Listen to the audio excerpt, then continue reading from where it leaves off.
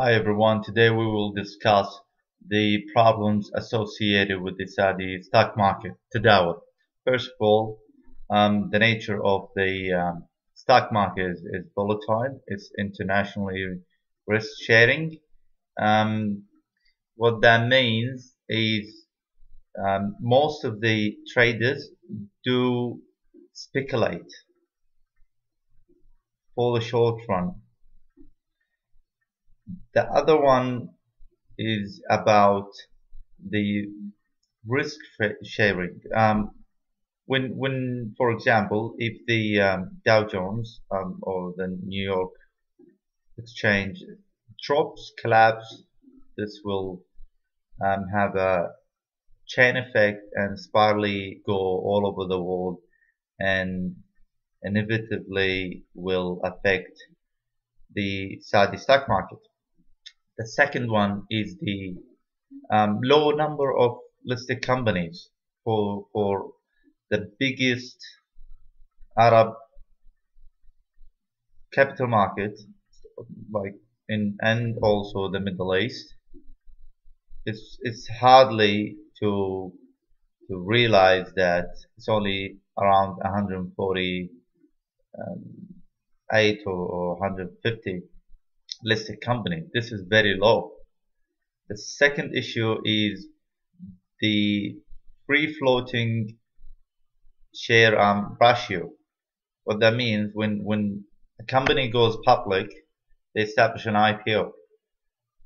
Some goes to the establishers, some be owned by the government, and the rest of the shares actually be um, traded.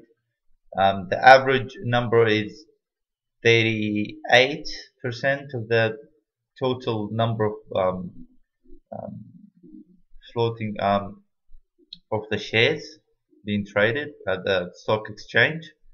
Um, so what that means, if you and me speculated in in in this share, this 40% will affect the rest of the 60% which is not fair. And either way increase the price or drop the price. The um, Saudi Stock Exchange suffers also from the investors characteristics what that means 90% of the traders are Saudi individuals. The the normal average Saudi person dominates the exchange. Um, also, what is the implication? These people do not have any financial or investment um, backgrounds which means when they do trade or speculate, they will negatively affect the investment because they have no idea how to read balance sheets or um, understand the market. Last but not least is the regulation the regulations are not enforced enough to um, make these companies, especially the newly ones,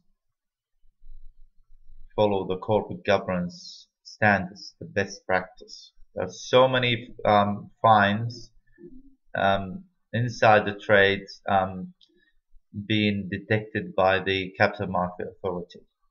Thank you all and hope we um, all benefit from this video.